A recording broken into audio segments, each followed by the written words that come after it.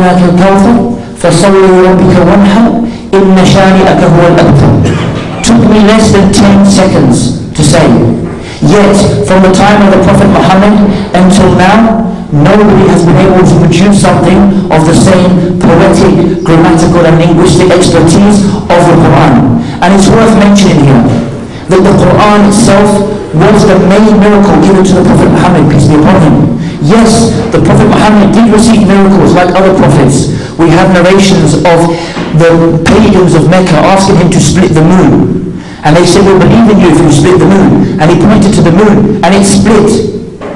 And other miracles of people were thirsty and water gushed from his hands and he used this water to, they used this water to drink and bathe themselves. But the main miracle of the Prophet Muhammad peace be upon him, is the Quran. Because the people of his time, they were linguistic and poetic experts. And we see from the other miracles of the prophets, like Jesus, peace be upon him, the people of his time were experts in medicine. So Allah sent miracles that were medical-like, to do with medicine, to show that yes, you are experts in your field, however this is divine, this is coming from Allah, this supersedes all of your medical skills. And like Musa, the Prophet Moses, peace be upon him, the people of his time were magicians. So we see that the, the, the miracles he had, his staff become a, a serpent, the splitting of the sea, it was all magical like, but again, so much more, superseding all of their magical skills.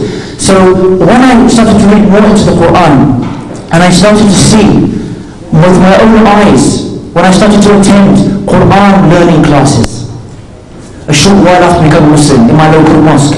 And I saw many small children who cannot speak a word of Arabic memorizing the Quran. And then I was told by some of the Muslims, and I started to check this myself, that there are hundreds of thousands of Muslims, sometimes in every country, who memorize the Quran by heart.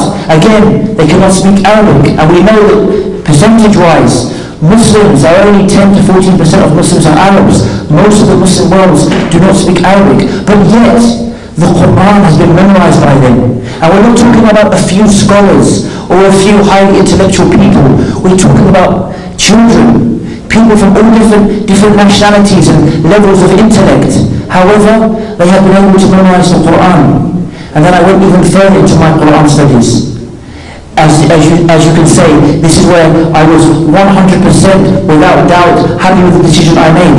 When I started to notice in the Quran, I got hold of a book which mentioned scientific miracles in the Quran. And I started to compare the verses in the book with the actual translation of the Quran. Verses like Allah talking about how the baby develops in the woman's stomach, the embryo, the stage of embryology.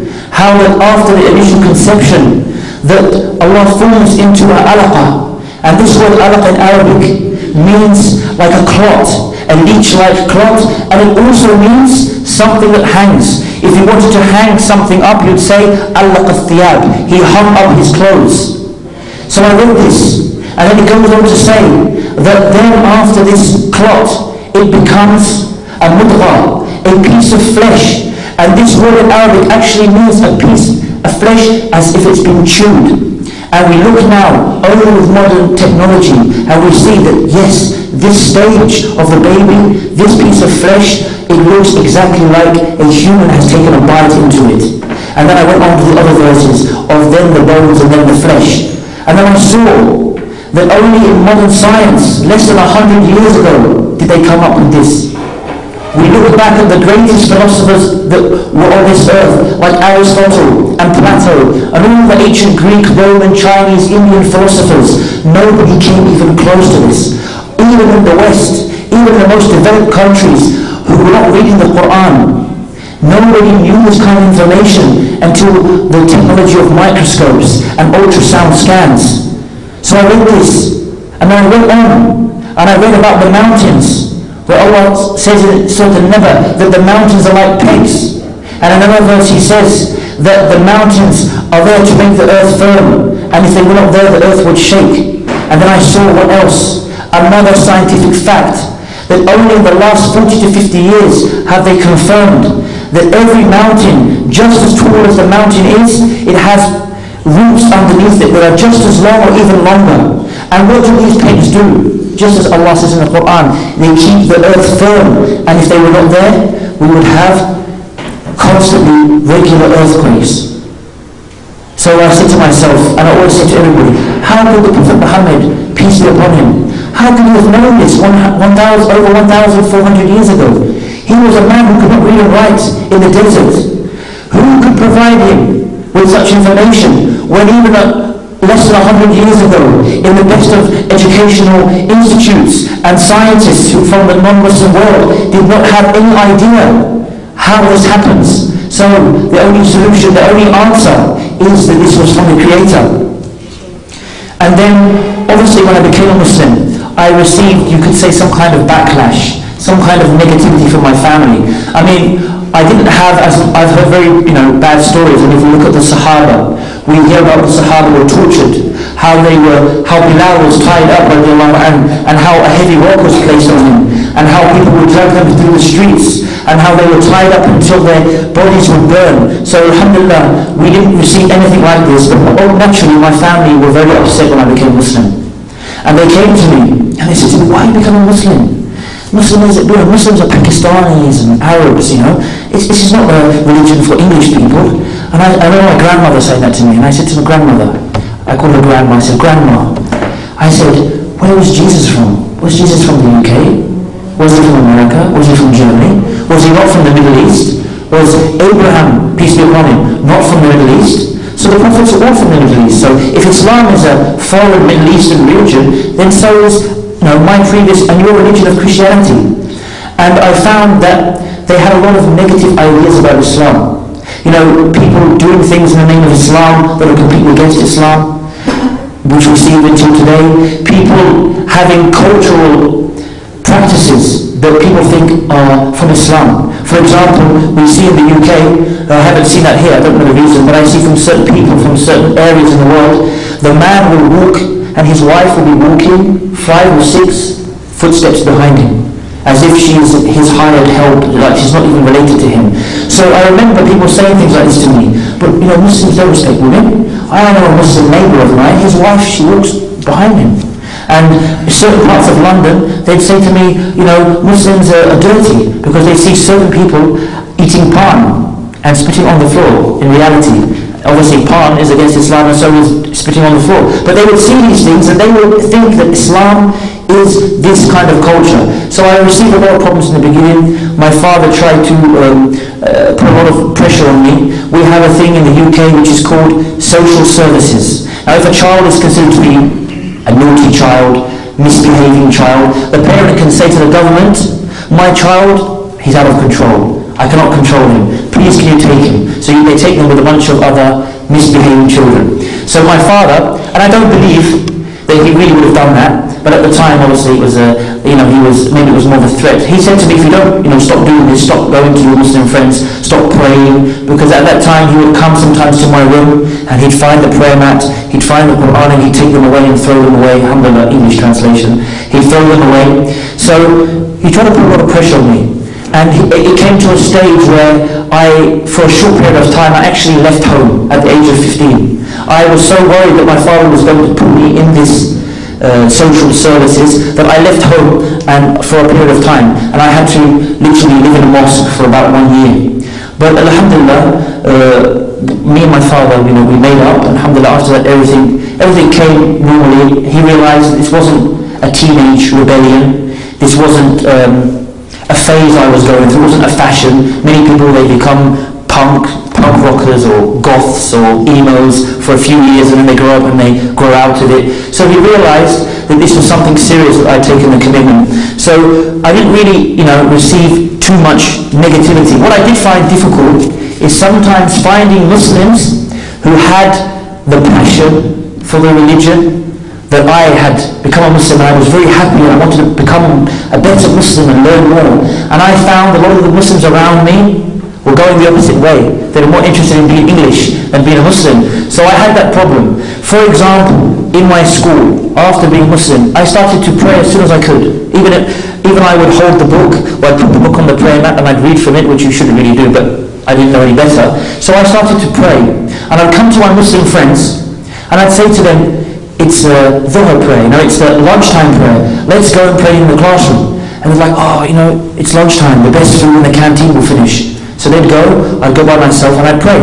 And yes, people would sometimes walk past the classroom. People would see me from outside through the window and they'd come and make fun of me and laugh at me and say, you're trying to be Pakistani? You're trying to be Indian? What's wrong with you? You're English. Why are you praying like these Pakistani people? But I, you know, I took it in my stride and I tried to explain to them. I even tried, from my very limited knowledge, I tried to give them dawah, all that I could, but I continued. And even when it came to every day the Asr prayer, the school bell would ring, it's time to go home, but it's also time for Asr. So I go to my Muslim friends and say, let's go and pray Asr.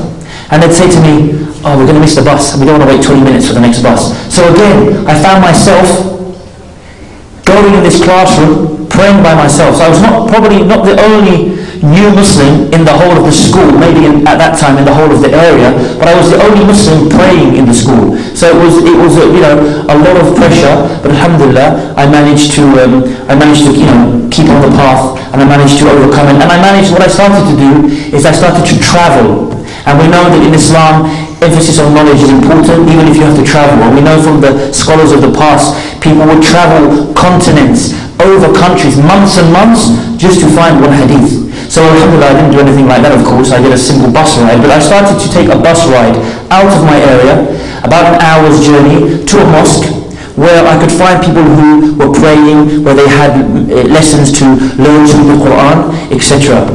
Um, before I come to the end of, uh, of, my, of my speech, I'd really like to give some advice to the Muslims.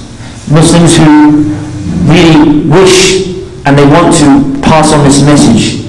Really what I'd like to say is the, the main thing we should focus on is spreading the message of Tawheed. Spreading the message of the oneness of Allah. Showing the people the reality of Islam. Clearing the misconceptions. And focusing on Tawheed. Yes, it is very good to memorize lots of verses of the Bible or of the, of the, of the Hindu scriptures or the Buddhist Palis and all the various scriptures. It's good to some extent to memorize some verses. But I would say, in my opinion, it's more important to learn the history behind these scriptures. Can, are they still untouched?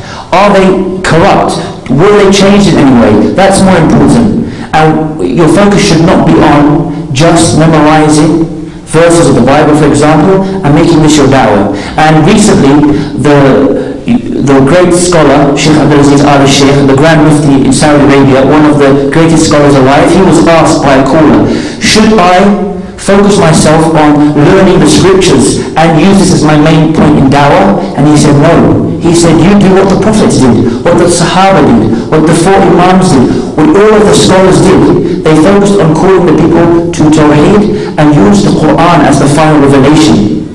Use the Quran as the hujjah. Show them the Quran. So that is the main focus that we should focus our da'wah on.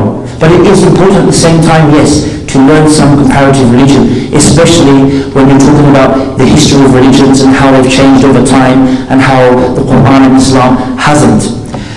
Now, how should we give da'wah? A very, you know, a few small tips. First of all, speak to whoever you know.